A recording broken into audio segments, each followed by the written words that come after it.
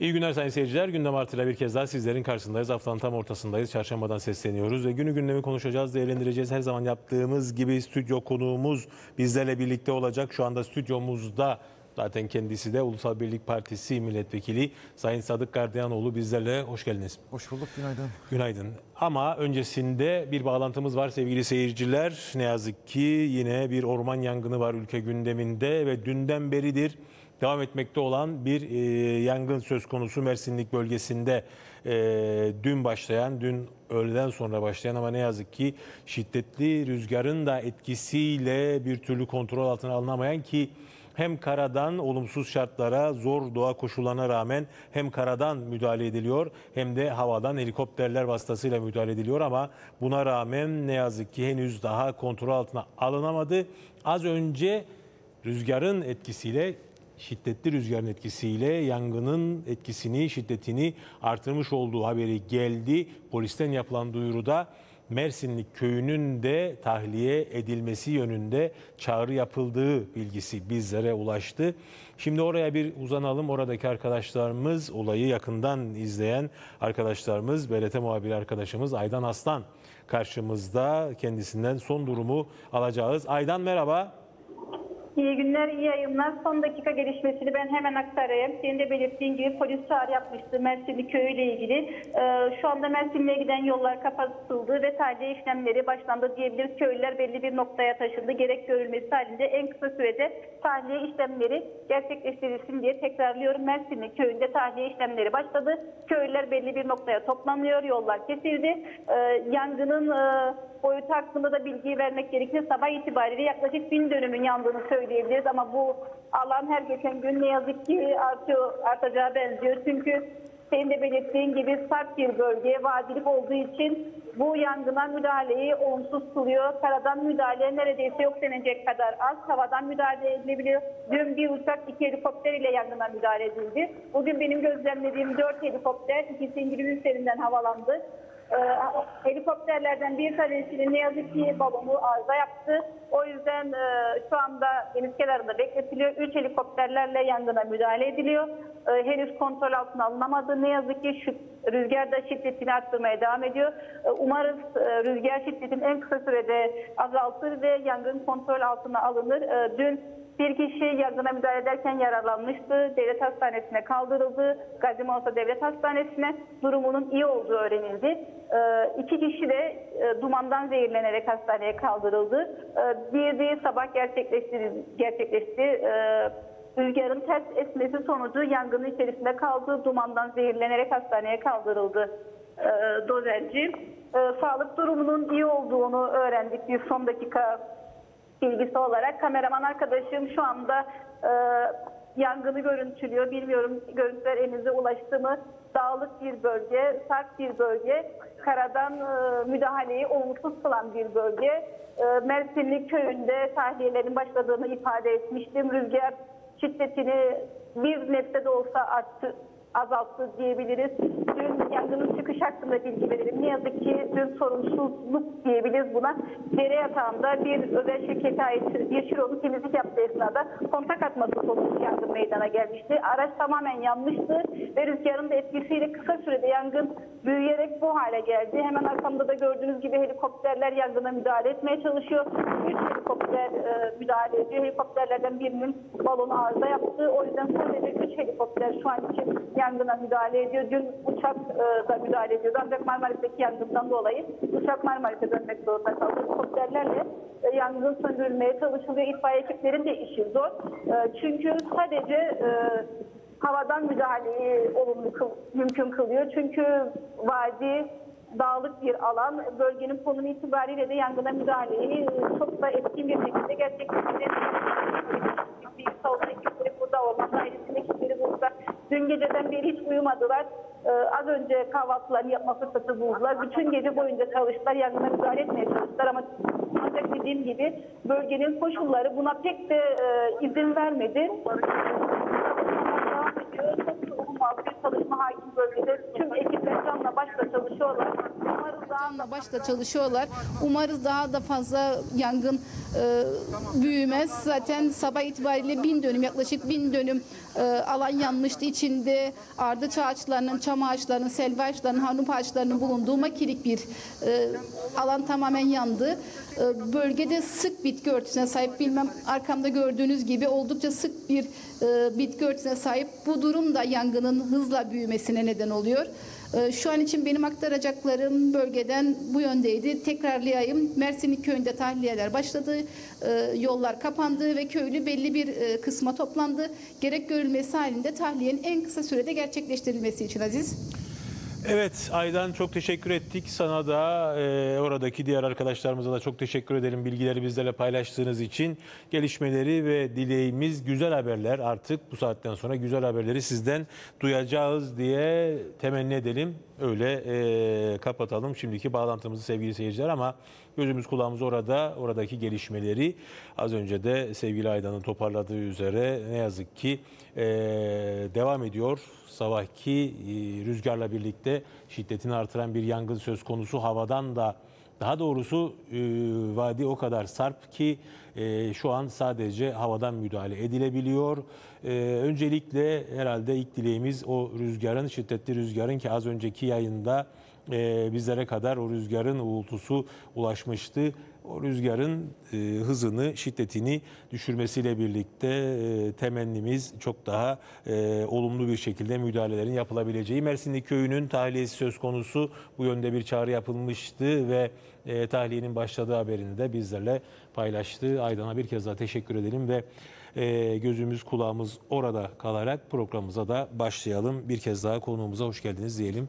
E, üzü- üzülüyoruz çok içimiz yanıyor ama bu yangınlar hep çıkıyor işte e, bir özel şirkete ait bir araçla yapılan bir işlem orada e, devre evet yani tedbirler alınmıyor. Yani Ben sabah tedbirler alınsa bölgedeki değerli dostlarımız da bir tele, buraya gelmeden bir telefon yani görüştük. Tabii ki onların da ciddi bir endişesi vardı.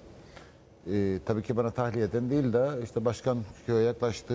Yani herkes kendi sonuçta canı ve malını da düşünmek e, zorunda. Köye yaklaştığını ve e, inşallah burada önünün alınabileceği yönde bir telefon konuşma oldu ve o şekilde konuşarak da bugün Sütçe. Evet. ama ne yazık ki Ee, tabii ki Olmadı.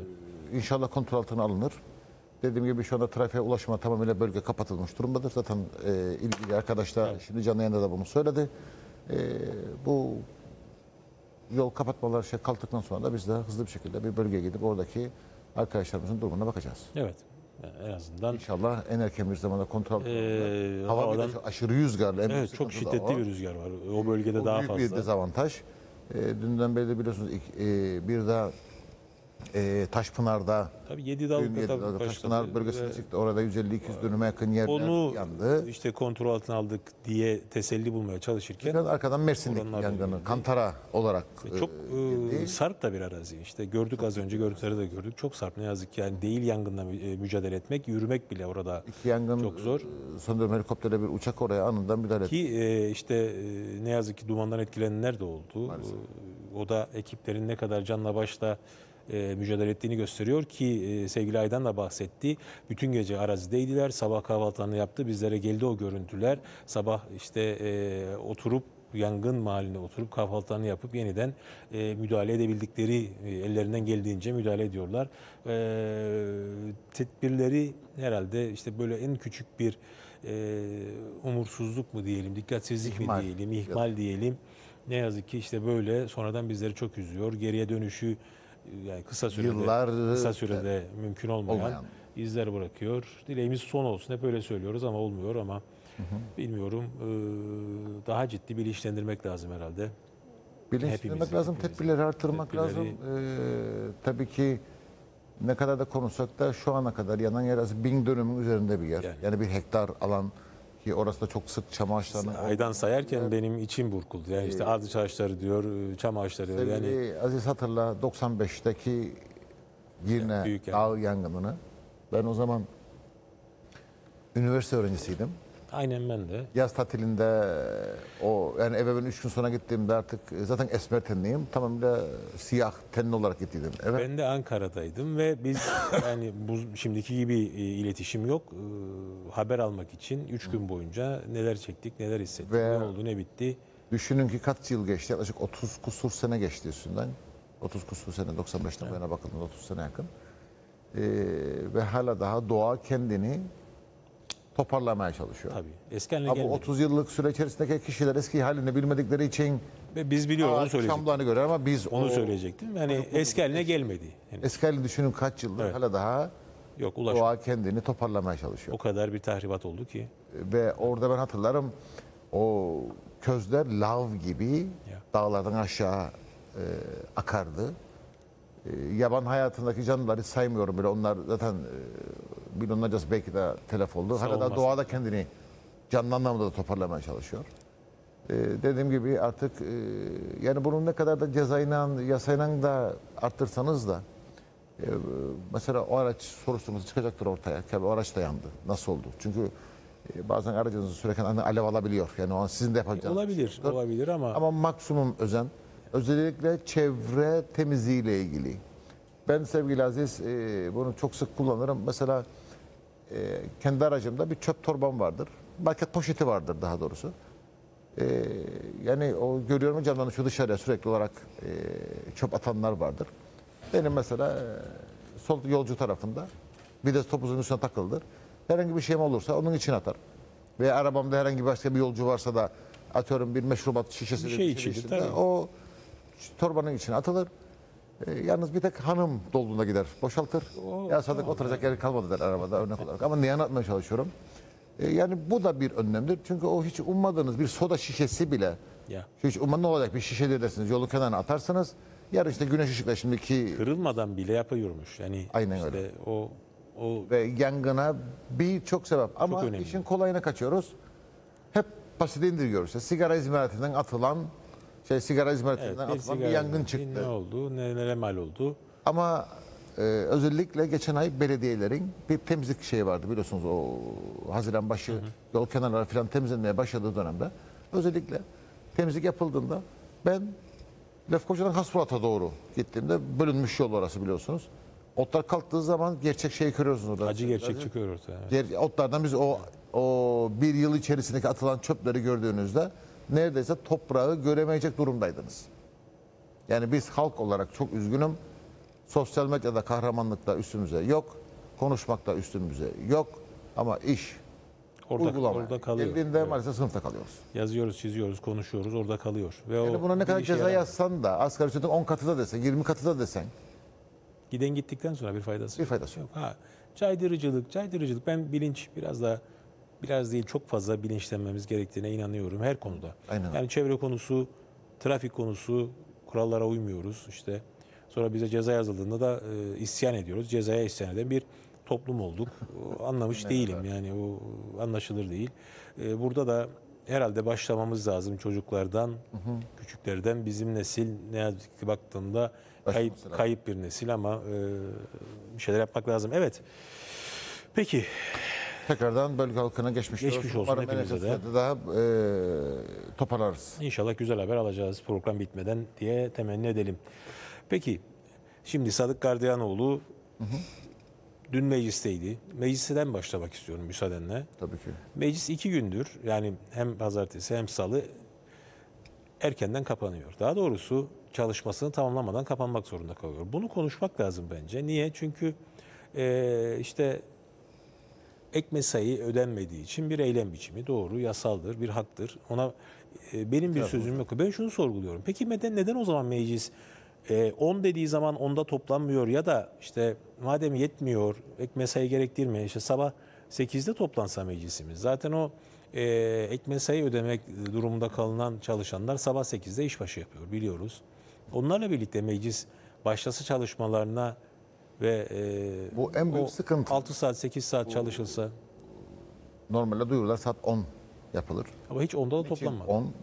Çünkü biliyorsun iskeleden de Lefke'den de gelen vekillerimiz var.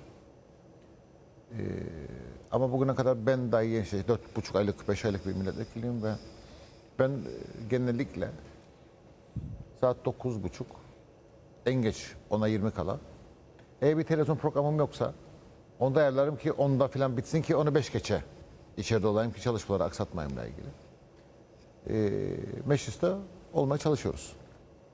Tabii ki esas konu herkes nisapla ilgili bir sıkıntı olduğunu düşünürken bazen işte o gün sabah ivedilikle ilgili bazı yasa önerileri talep edilebiliyor. İşte onların daktiloya girmesi hemen gündem alınmasıyla ilgili bir süreç geçiyor ama genellikle e, acıdır ama e, bazı arkadaşlarımızın da zamanında mecliste olamamasından dolayı biliyorsunuz 26 sayısını yakalayıp da meclisin açılması gerekiyor. Bazı arkadaşlarımızın yüreceği birazcık geniştir. Kızmasınlar bize ama bu bir Öyleyse öyledir yani söylemek Bu lazım. bir gerçektir. Dün yaklaşık 4,5 saatlik bir grup toplantımız vardı. Gerek Sayın Genel Başkanımız Sayın Sucuoğlu, gerekse Sayın Başbakan e, Sayın Üstel bu özellikle bu konuya özellikle değindiler. Meclisten sonra yapıldı ama değil mi? Onu söyleyelim. biliyorsunuz. Ha, yani onu söyleyelim de. E, kapattıktan sonra saat yaklaşık 15. Yani o grup toplantısı yüzünden meclis geç toplanmadı. Onu Yok yok belirtelim. biz e, zaten e, biliyorduk. Tabii ki e, ben şimdi özel sektörden gelen bir kişi olarak kamuyudaki bu şeyi alışmaya çalışıyorum. Bu düzeni görmeye çalışıyorum ben. Tabii ki meclis çalışanlarına hak veriyorum. Sonuçta çalışılmış haklardır. Ek meseleler ödenmeli miydi? Bana göre ödenmeliydi. Tabii ki herkes şunu der. Zaten e, bazı görüşte. Şunu söyleyeyim. E, işte ne olacak? Zaten kalsalardı da gene ek mesai almaya devam edecekti. Olay o değildir. Herkesin kendine göre bir planı, programı vardır. Herkesin kendine göre bir masrafı vardır. Örneğin siz geç saatlere kadar, gece saat 7'lere, 8'lere, 9'lara kadar bir tek konu sizin ekranda gördüğünüz canlı yayın değildir. Tabii ki. Komitelerimiz vardır. Geç saatlere kadar devam eden komitelerimiz vardır. Çünkü meclis bu. Her şeyin kayıt altında olması. Aynen öyle ve e, değerli stenograf arkadaşlarımız da bir tek mecliste değil komitelerde de e, görev alıyorlar. Yani e, onların hiçbir zaman şikayet ettiğini duymazsınız. Onların hiçbir zaman aman başım ağrır lütfen 10 dakikacık ara verin. Hayır. Hasta da olsa, başı da ağrısa, çok özür dilerim ailesinden herhangi biri de hasta olsa stenograf o görevi orada yapıyor. Biz görüyoruz Görevini bunları. aksatmadan sürdürüyor. Satmadan yapıyorlar. Ve e, bundan dolayıdır ki evet ben üzülüyorum bir vekil olarak iki gündür meclis çalışmalarımızın saat 14.30'da kapatılmasına e, üzülüyorum ama e, bu kadar meşakkatte de çalışan e, dün e, Sayın Maliye Bakan'a da bu konuyu biz grupta konuştuk. Yani nedir sorun da ödenemiyor? İşte pazartesi günü talimat verildi. Bugün ödenmiş olmaları gerekiyor şeylerin, ek meselerin ödenmiş olması gerekiyor. E, tabii ki biliyorsunuz ülke olarak da ekonomik sıkıntılar içerisindeki bazı şeyler de ucun ucuna yetiştirilemiyor ödemeler. E, yani mesela biri de diyebilir, madem çalıştılar ödesinler. Yani fazla para var da ödemedik mi değil. Sonuçta bir şeylerden kısıp başka bir şeylere aktara aktara e, bir bütçe denkleştirilmeye çalışıyor. Bu dövizin artışından dolayı, bu hayat pahalılığından e, ki yaşanan ekonomik sıkıntılardan dolayı.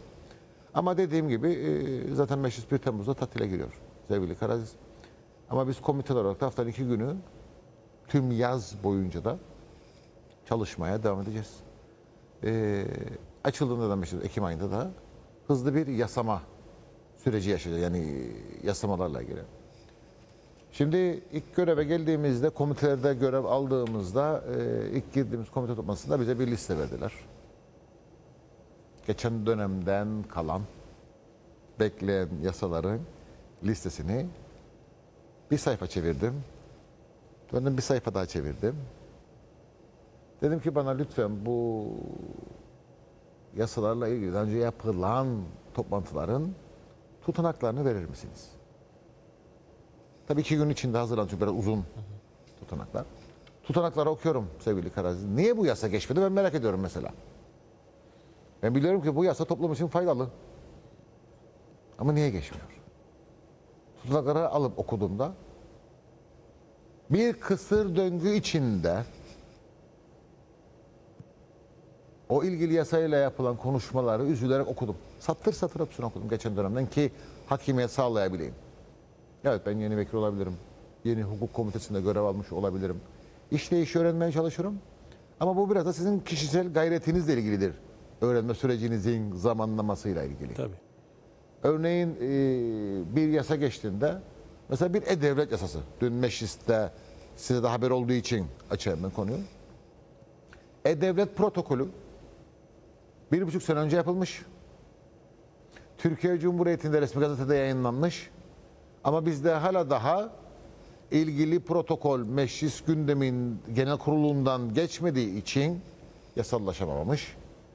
Ee, bir süreçte bunu ele aldık ve 5 oturumda genel kurula sevkini yapabildik. 5 oturum yaptık. Bir e-devlet protokolü ile ilgili.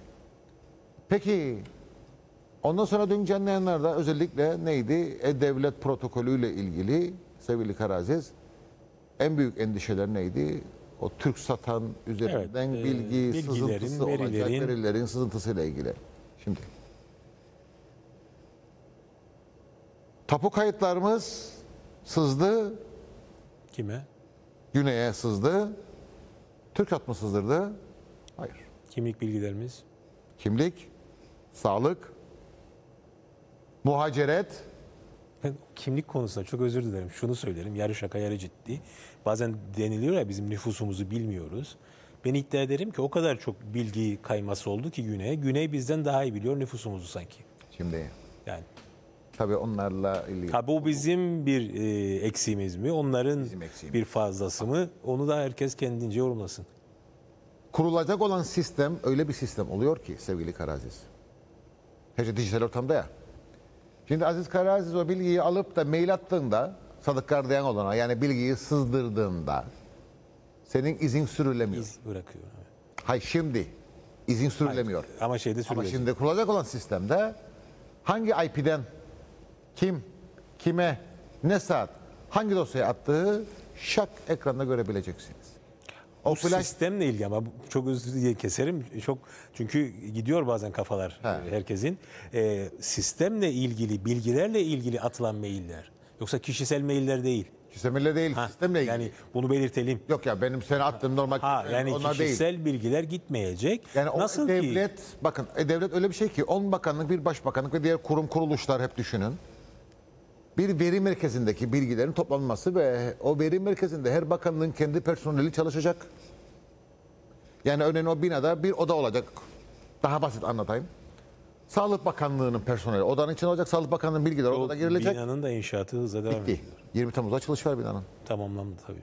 Temeli de atılmıştı bir yıl önce. işte. Bak o protokolden dolayı atıldı Tabii. temeli. Şimdi onları anlatacağım. Ben ki Yani bina da e, ayrılmış izole bir binadır. İşte başka hiçbir şey yok söylediğin noktadan devam edelim. Sistem şu. Herkesin bir yetki sınırı olacak. Bilgilere erişimle ilgili. Yani Aziz Karaziz Bayrak Radyo Televizyon Kurumu'nun oradaki temsilcisi ise BRTK'nın verilerini girecek ama sisteminden diğer kapılara, dosyalara erişemeyecek. Sonra bir üst kadem olacak.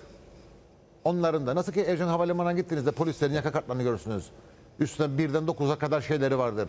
Girip giremeyecekleri Girebilecekleri yerleri böl- belirler. bölgeler var. Bölgeler vardır. Sistem de aynen budur. Yani oraya oturan bir memur Hadi gireyim de örneğin Sağlık Bakanlığı'ndan gelen bir memur odaya girdiğinde gireyim de Sadık Gardiyan olan tapu bilgilerine bakayım. Gireyim Sadık Gardiyan olan muhaciret bilgilerine bakayım. Öyle bir dünya yok. Ya bizim burada da var, BRT'de de var. Yani haber merkezinin dosyaları ayrıdır. Başka diğer bölümler biz onların dosyalarına Şimdi- giremeyiz. Onlar bize karışamaz. Yani bu çok çok basit bir sistemdir, kurulur. Bugün bir acı gerçektir ki biz eğer bunları konuşmazsak doğruyu bulamayız değerli dostum. Peki okudum, tutanaklar okudum. Komitenin gündemine ivedilikle geldi. Tekrar E-Devlet protokolü geldi. İlgili paydaşlar geldi işte komitede konuk davet ediyoruz biliyorsunuz. Döndüm dedim ki peki niçin protokol yapmaya ihtiyacı hissediyoruz dedim ben. Yasası yok ki dediler. Ya. Anlamadım dedim. Yasa yok. Yani güncellenmedi mi? Hayır. Hiç yok. Hiç yapılmaz. Böyle bir gelgitler yaşadım. Yani ben mi yanlış algılarım, algı duyum mu bozuldu, yanlış mı duyuyorum diye böyle bir 30 seneye kadar kendimi bir toparladım. İlgili kişi de anladı benim olay garipsediğimi.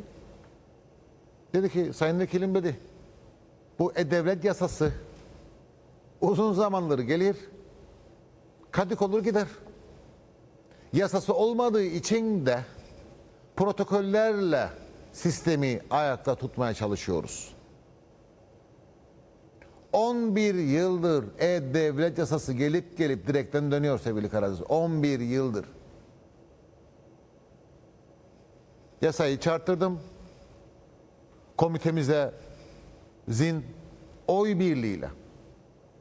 Bakın ben kimsenin hakkını yemem. Hem Cumhuriyetçi Türk Partisi vekiller hem Ulusal Birlik hem Komite Başkanım Yasemin Hanım'la birlikte oy birliğiyle yasayı ivediliğine aldık. 11 yıldır tarihin tozu raflarında bekleyen yasayı çıkarttık. Ne demektir? 20 Temmuz'da binayı açıyoruz. E devlet binası açılıyor. İçinde kim görevli? Kimin ne görevi var? Hangi odada kim oturacak? Kimin sorumluluğu nedir? Gizliliği nedir? Yasal statüsü nedir? Yok. Anlatabildim. Ama birçok konuda da konuşulduğunda o harmanda külü bırakmazlar. Evet. Bunun gibi nice yasalar var. Sevgili Karadağ. Göstersem sana listeyi. 3 sene önceden komiteye gelmiş bekleyen yasa var. 3 sene önceden gelmiş bir yasa var. Belki de o yasa artık güncelliğini yitirdi. Artık, e, işe yaramayacak. Güncellenmesi lazım tekrardan. Evet. Sadece komite olarak bu dört buçuk ay önce kurulan ama bu hükümet kurulmalarından dolayı yaklaşık bir buçuk aya yakında zaman çünkü yasa gereği hükümet olmadığı için devam edemez komite toplantıları. O Sayın Sucuoğlu'nun istifa ettiği süreç hatırla bir ay yakın aldı hükümetin tekrar güven oy ayrılmasıyla ilgili süreçte. Yani yaklaşık iki buçuk ayda sevgili Karaziz Meclis Genel Kurulu'na biz komite olarak dokuz yasa gönderdik. Şu anda onlar konuşuyorlar. Bunların altı tanesi geçti. Şu anda dün mecliste gördüğünüz işte devlet protokolü konuşuluyor. Ee, taşınmaz mal aldık e, komitedir şu anda. Yani bu yabancıların mal edinmesiyle ilgili düzenlemeler geliyor. Yani bunları biz yapmalıyız ki bakın en basit örneği bir taşınmaz malla ilgili bir önünü açtığınızda sürecin hem yapsatçı hem müteahhit o satışını yapabilecek. Ülkede bekleyen 94 bin tane satılmış sözleşmeli Evet, konutlar evet. onların stopaj devirleri var. Düşünebilir misiniz ki devlete ne kadar bir gelir elde edecek? Böyle halk tabiriyle söyleyeyim grak grak ettiğimiz bir süreçte maddi anlamda grak grak edilen bir süreçte 94 bin lira bu da bizim müteahhitler birliğinin verileridir bize. Komitede ben sordum 94 bin sözleşme varmış. Mal tapuda işlem Tapu bekleyen. bekleyen. Bunların bir stopaj, KDV vergilerini bir hayal edin miktarı ne olduğunu ve biz bugün bu ülkede hala daha mesai ödeyebildik mi? Ya. Ek mesai ödeyebildik mi? Bunların tartışmasını yaparız. Biz tartışma yapmıyoruz. Biz komitelerde kısır döngü içerisinde savaşıyoruz. Bakın net söylüyorum bunu burada. Yasa yapmamayan üzerine kurulmuş bir sistem var. Ha bunu Sadık Kardenoğlu söylediğinde çıkıntı. Çıkıntı değil. Gerçekleri koyacağız bu masaya. Gerekirse kendi iş tüzüğümüzle ilgili bir revize yapacağız. Muhalefetle birlikte oturarak. Çünkü biz komitelerde nerede tıkandığımızı görüyoruz. Gerek muhalefet gerek iktidar olarak. Milletvekilleri olarak. Verimliliği arttırmamız gerekir. Ama ilk önce de kendi, çünkü biliyorsunuz komitelerde meclis iş tüzüğü kurallarınca yürütülür. Biz bu şekilde. Siz sadece bizi haftada iki gün pazartesi ve salı ekranlarda görürsünüz. Geri kalan günlerde o meclisin komitelerinde görev yapıyoruz sevgili Karadeniz. Hızlandık. Çünkü 1 Temmuz'da anayasal olarak ki biz tatili çok istemedik ama mesela anayasa gereğiymiş. Evet. O Girmek zorundayız. konuşuldu hep. Ama bunun üzerinde 2-3 kere de bilginiz olsun bir olağanüstü genel kurulu yapılacak.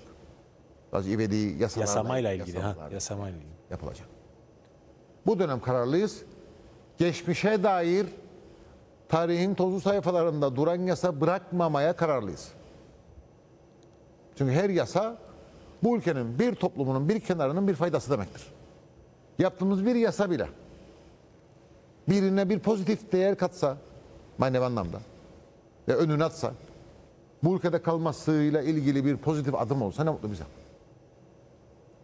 Dönüyoruz bakıyoruz dediğim gibi az önce bütçede para yok. Ek mesailer ödenemiyor. Ama bu tarafta 94 bin tane Tapu tapu bekliyor. sterlin üzerinden, döviz üzerinden. Rakam nedir biliyor musunuz? Belki de sizin 4 yıllık bütçeniz. Bütçeyle evet, bütçeyle eşdeğer. Ülke Ama duruyor.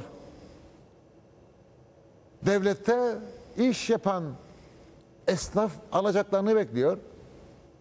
Ama biz bu tarafta bir yasa daha şudur o. geçmediği için Devlete para ödemek için bekleyenler var. Ve biz Aynen devlet olarak bekletiyoruz. almıyoruz biz paralarını. Bakın.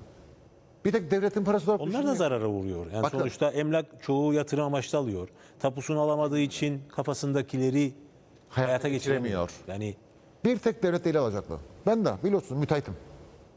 Geçti son 4 yıldır inşaat yapmıyorum. Ama mesleğinde 24 yılda olmuş bir mimar olarak 16 yıla yaklaşık bir müteahhit olarak şunu söyleyeyim. Sözleşme imzalandığı zaman müteahhit zaten tüm parasını almıyor ya. Tapu devrinde de kalan bir bakiyesi var. Yani hem devlet alacak hem de özür dilerim 94 bin sözleşmeyi yapan binlerce müteahhitle kalan bakiyesini aldığında Boş verin bir tek devletin kasasına gelecek olan parayı. Müteahhitlerin o e, eksik aldığı, aldığı ödeneklerin de bu piyasaya ne kadar bir sıcak para girişini sağlayacağının acaba farkında mıyız? tabii müteahhit gidecek yatırım yapacak o parayı. Veya örneğin boyacısına, Yok. işçisine, Tabii. esnafına, hırdavatçısına borcu vardır onu ödeyecektir. Yeni bir proje başlatacaktır. E, O da çarpan etkisi olan bir Kesinlikle. olay. Tabii. Ama bunları sevgili Karaziz eee, maalesef o tarihin tozlu sayfacıklarında bunlar böyle birazcık toz tutmuşlar. Sonra da dönüp diyorlar ki Sadık Gardiyanoğlu siyasetten usanmış. Başlıyorum gülmeye. Bunu kim söylüyor? Sadık Gardiyanoğlu mu başkaları mı söylüyor? Değil mi? Başkaları söylüyor benimle ilgili. Bu enteresan. Evet. Bence de enteresan. Tabii reklamın iyisi kötüsü yoktur ama gözlerimin içine bakan anlar ki ne kadar bir hizmet aşkımın olduğunu anlar. Saat mahrumumun olmadığını anlar. Var mı öyle bir şey? Kesinlikle. Biz bir yemin ettik. Bu ülkeye hizmet etme yemin ettik.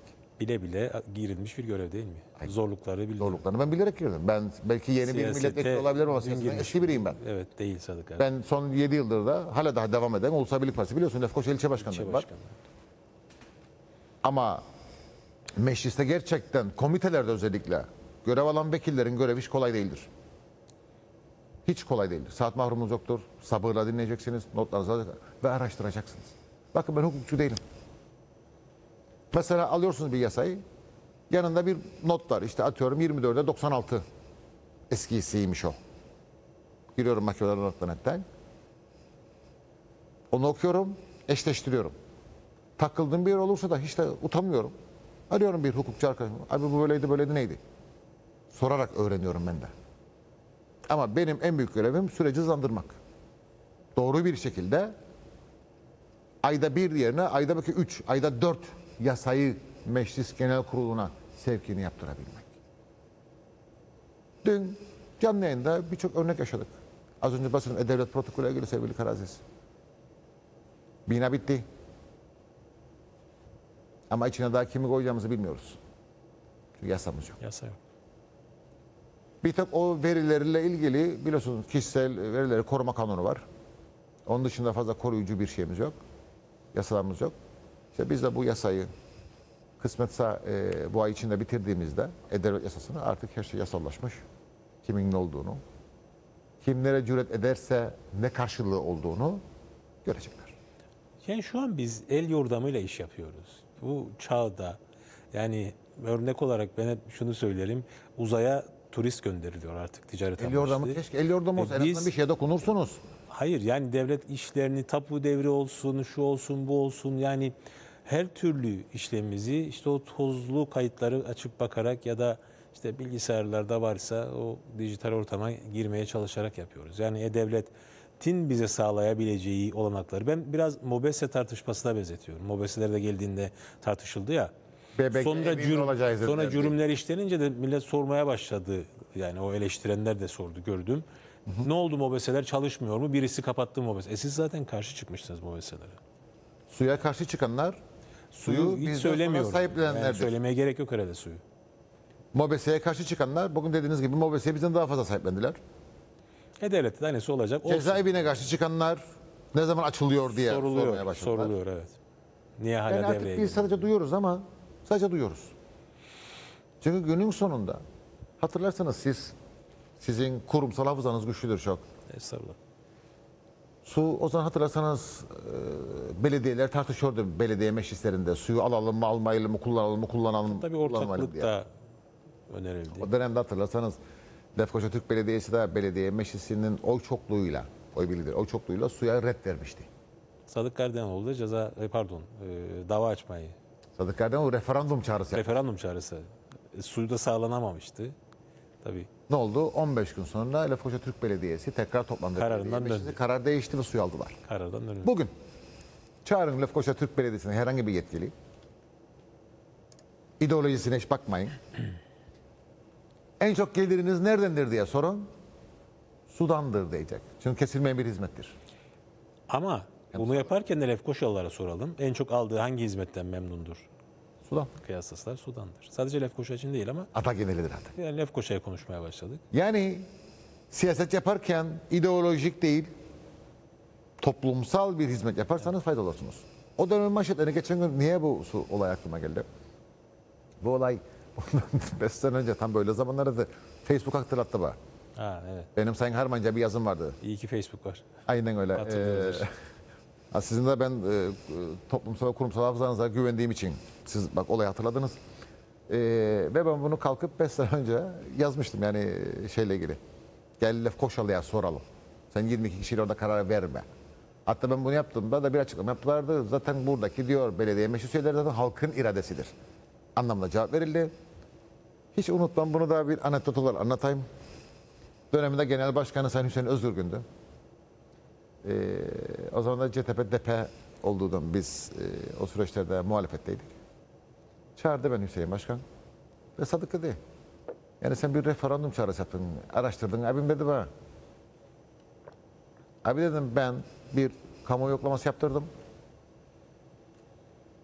Bir referanduma gidersek dedim yüzde 94 ve plus suyun musluklardan akılmaz, isteyecekler dedim. Böyle koşa. Çünkü durum ortadaydı yani. Abi haftada bir su alıyorsun. Evet. Ve gelen O da gelen su belli, deniz suyu. Gelen suda evet. Deniz suyu belli. O dönemde de oğlum ve kızım sudan dolayı bir mikrobik bir salgın vardı o dönemde. Ve çok Çünkü tankerlerle aynen öyle. su tedarik E, rahatsız oldulardı. Hatta bu bir yerde şu. haber çıktı çocuklar hasta olduğu filan da bütün aile aile arama geçtilerden oldularla ilgili. Ben olayın üzerine ilçe başkanı siyasi olarak yürümedim. Bir Lefkoşalı bir ebeveyn olarak yürüdüm ben olayın üstüne. Çünkü ben o mikrobik sudan çocuklarımı haftalarca evde ishal ve hasta durumda yaşadık biz. O süreci bir ebeveyn olarak yaşadım ben. Onun için senin ideolojik olarak düşüncen benim için çok önemli değildir. Ben toplumsal faydaya ve sağlığa bakarım. Ne oldu? 15 gün sonra toplandı belediye meclisi. Karar değişti. Ve bugün musluklarımızdan o su akıyor. Bazı şeyleri hatırlatmak lazım. Olayın üzerine gidildiği zaman başarı elde edebileceğidir. Ve tekrar söylüyorum bugün herhangi birine sorun en büyük gelir, en büyük kazanç ve en büyük memnuniyet sudandır. Meclis için de aynısıdır. Meclis evet ben çok özür dilerim.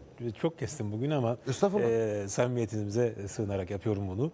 Mesela meclis az önce hep o komiteler çalışıyor dediniz ya ben bilen birisi olarak muhabir olarak çok takip ettim. Yani o çalışıyor dediğimiz ortam çok sağlıklı bir ortam değil. Az önce onu bahsettim ben. Binanın bodrum katları işte havasız. Abi dar- biz onu geçtik artık. baskı, biz ona razıyız. bu. Hayır Yeter yani şu. Ama işte yeni meclis yeni meclis olsak- binası konuşuluyor ya zaman zaman ve deniliyor ki ne gerek var. Şimdi o ben eminim yine yaşadıklarım tecrübem işte 50 yaşına gelmiş birisi olarak o bina ortaya çıktığında ki inşallah çıkacak yeni meclis binası. Herkes keyifli orada hem görev yapacak hem de işte benim ülkemin parlamentosu, benim iradem burada, budur. Parlamentosu budur, iradem burada temsil ediliyor diye gururla gösterecek. Bugün Amerika'ya giden, Washington'a gidenler Amerikan parlamentosu önünde turistik resim çektiriyor. İngiltere parlamentosu önünde çektiriyor. Neden benim ülkemde olmasın? Ama öncelik o değil daha başka yere harcayabiliriz. Yani burada deniliyor ki o planlama yapılırken her şeye e, kaynak ayrıldı. Yani şuradan kesip de parlamento o yapmıyor. biz öz, kendi kaynaklarımızdan yapmıyoruz ki o dıştan hediyedir. Ve o Hibe. bize onu hibe eden de başka yerden kesmiyor. Kesiyor mu? Hayır. Hayır. Kesmiyor. Yani yine o bina olur inşallah olacak ve e, önünde herhalde gidip fotoğraf çek, Biliyorum çek- ben de. fotoğraf çekinecektir. Bilmiyorum. İzninle ben sana bir soru sorabilir miyim? Tabii ki. KKTC Cumhuriyet Meclisi 1974'ten önce neydi? Sigara fabrikası. Neyin sigara fabrikasıydı? Ben neyin derken marka. Hayır. Marka neydi markanın ismi? Dianelos. Diyanelos. Peki yeni meclis binası yapılacak dediğin dendiğinde en çok bağıranlar, çağıranlar zamanı değil miydi de bu Diyanelos ailesine gidip de o binaya girme izni alanlar? Hatırlayın.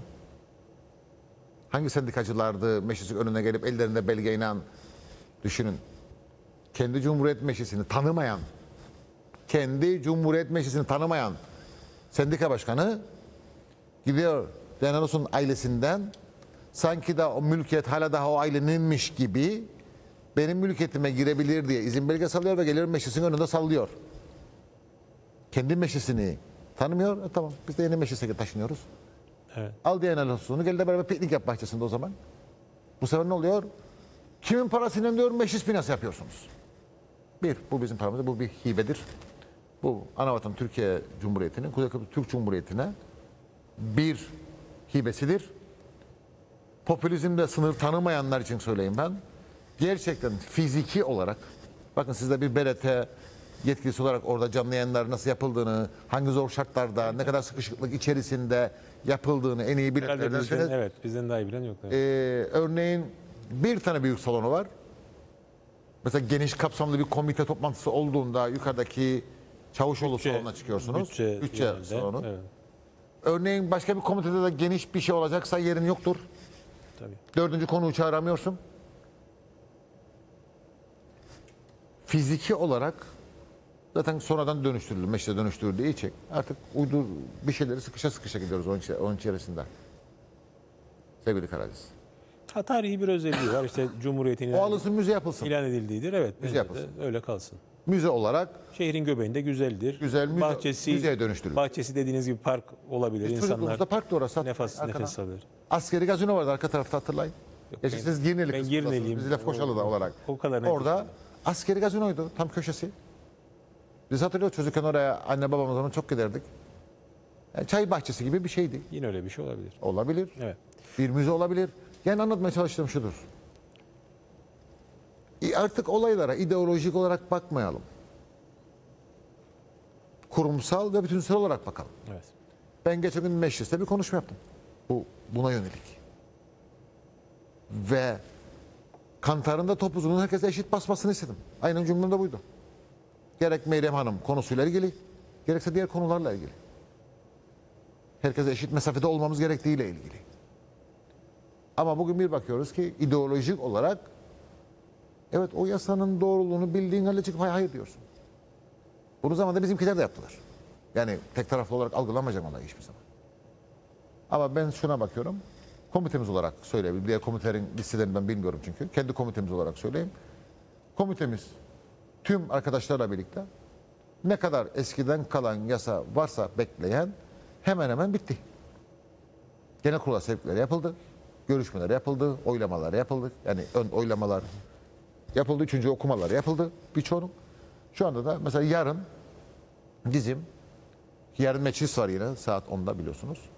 Biz yarın sabah 9'da komite toplantısı yapıyoruz. Saat 10'a kadar. Şimdi kural gereği meclis açıldığı andan itibaren komite toplantısı yapamıyorsunuz işte yüzüne göre. Ki vekillerin genel kurulu salonunda olması gerektiğinden dolayı. e, yarın gene 2-3 tane okumasını yapıp da meclise ivedilikle göndereceğimiz yasalarımız var. Bak o kadar hızlı bir tempoya girdik artık. Sevgili Karadziz. Meclis çalışmaya başlarsa ya da başladığında e, halkın siyasete olan bakışı da değişecek. Kesinlikle. Ben ona inanıyorum. Yani şu an çünkü meclis bir şey çözemiyor. Yani siyaset orada bir şey çözemiyor ama çarkların dönmeye başladığını insanlar gördüğünde işte o hep katılım düştü düşüyor. insanlar siyasete inanmıyor. E, her şey normale dönecektir bence. Olması gereken Bir o ritme ulaşacak. sevgili Karadziz. Ülkede üç üye var. Yasama, yürütme, yargı. Üç bağımsızdır. Yasama mahkemelerimiz, yüce mahkemelerimizdir. Yargı kısmı yargı. mahkemelerdir, yargı. Yürütme bakanlar kuruludur. Hükümetin işi. Hükümettir. Bizler yasamadayız. Bizler yasa yapıcıyız bizler. Genellikle hükümetten öneri olarak gelir bize. Genellikle sistem o şekilde çalışır. Hükümetten gelir. Yasa tasarıları. Biz bunları alır komitede harmanlarız. Savcılıktan, uzmanlardan, sivil toplum örgütlerinin görüşleri alırız. Eğer bakanlıklardan da gelen maddi hata varsa içinde yani yazım hatası, ifade hatası ve yasa anlamında bir hata varsa onları düzenlemesini yaparız. Yani işin mutfağı gerek yürütmenin gerek yargının mutfağı bizim yasamadaki komitelerimizdir. Çünkü yargıya da yön verecek olan, E tabii. yürütmeye de yön verecek olan yasamadaki komitelerin yani bizlerin yapacağı mutfak çalışmalarıdır. Sen ne kadar çok mutfağa malzeme gönderirsen biz de sana o kadar çok çeşit çıkartırız. İşine yarayacak çeşit çıkar.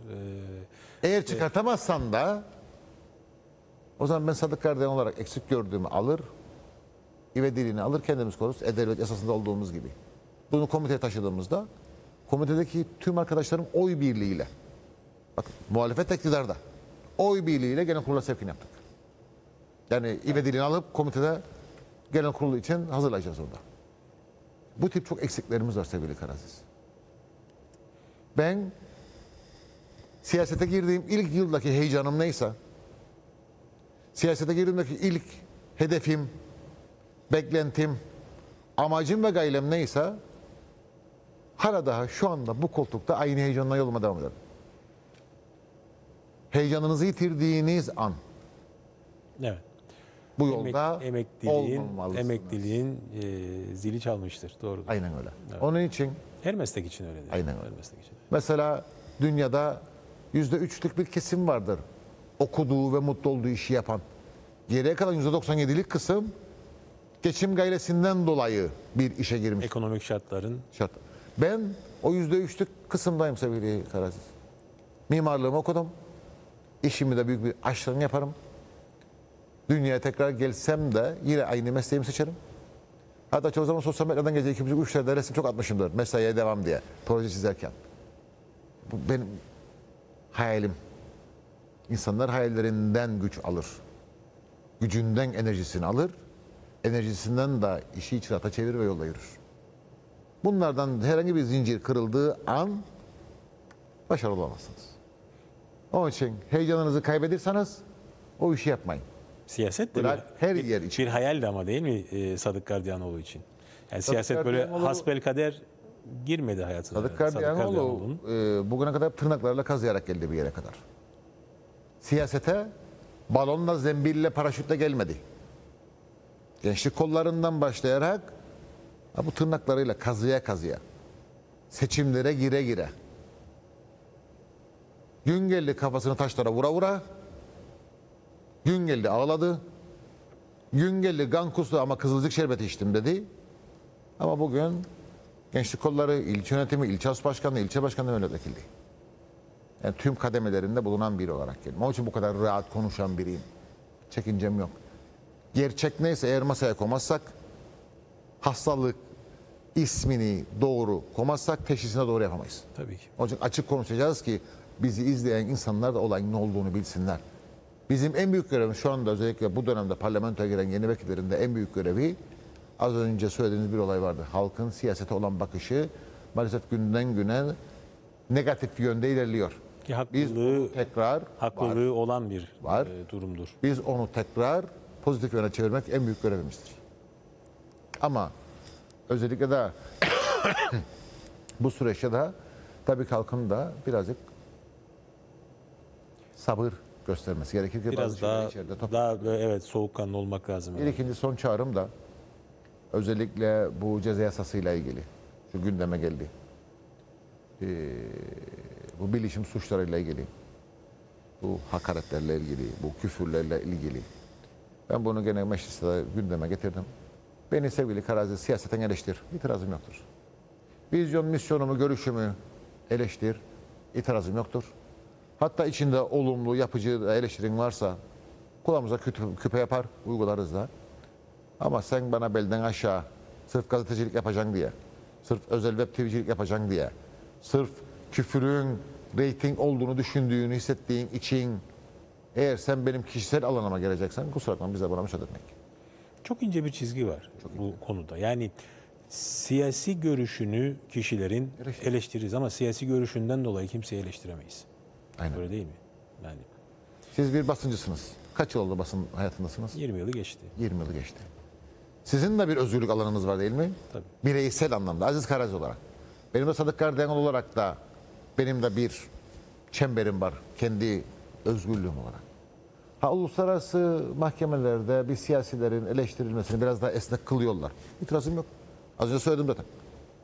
Düşüncemi, vizyon, misyonumu, siyasetimi eleştir. Ama kişiliğe yönelik. Ama sen döneceksin de Facebook'ta dört tane daha fazla insan seni izleyecek diye, dört kişi daha fazla like yapacak diye, iki kişi daha ama ne hakaretler biliyor musunuz siz? Kişiliğe yönelik olunca olmuyor. Bir tane de doğruluk olsa yüreğim yanmayacak. O haberleri, hadi ben okurum ben kaldırırım sıkıntı yok.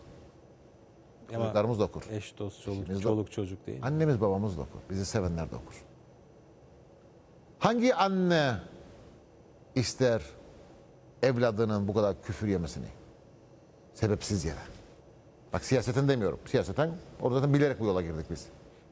Ama hiç olmayan bir şeyden sırf gözümün üstünde kaş var diye küfür yemek hoş değil. Ya da 3-5 kişiyi hoşnut etmek için. Aynen öyle. Sayın Sadık Kardinaloğlu çok teşekkür ederim. Güzel bir program oldu. Keyifli bir program oldu. Ayağınıza sağlık. Ben çok teşekkür ederim beni konuk ettiniz. Yeniden görüşünceye kadar kolay gelsin. İyi çalışmalar dilerim. Sağ olun. Evet sevgili seyirciler bugünü bitirdik. Bugün adına noktayı koyalım. Yarın yine aynı saatte saatler 10.30'u gösterdiğinde bir kez daha sizlerin karşısında olacağız. Yeniden görüşünceye kadar hoşça kalın, sağlıkla kalın.